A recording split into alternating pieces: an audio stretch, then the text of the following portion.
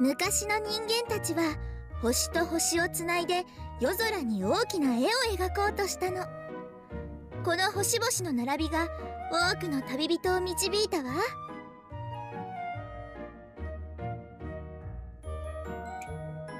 一つ一つは意味をなさずとも集うことで新たな意味を帯びることもある。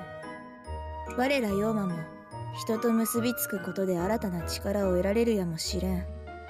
教皇庁と接触する予定の妖魔ってあなたのことなの。聞きたいのは私の方よ。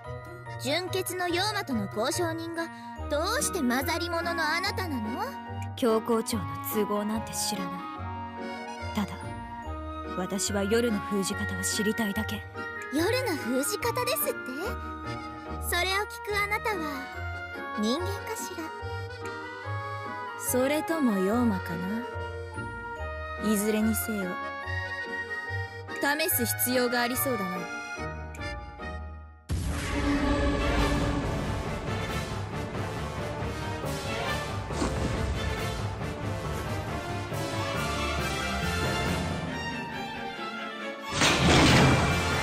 デモンフォームケチラ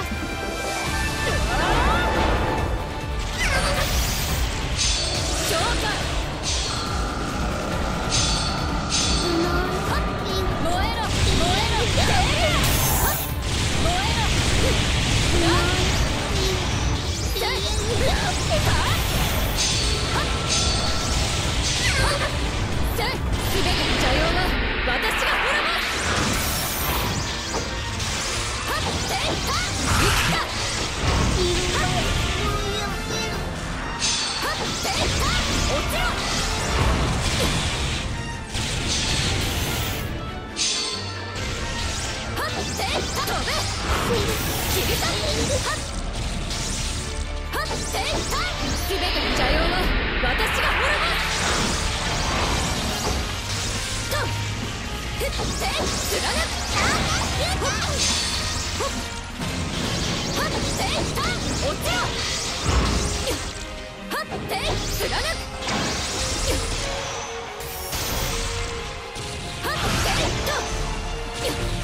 生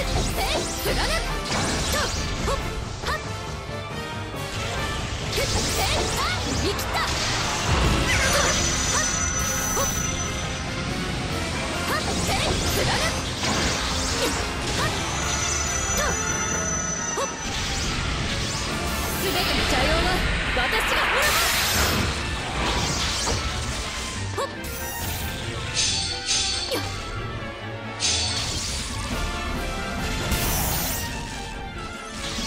生きた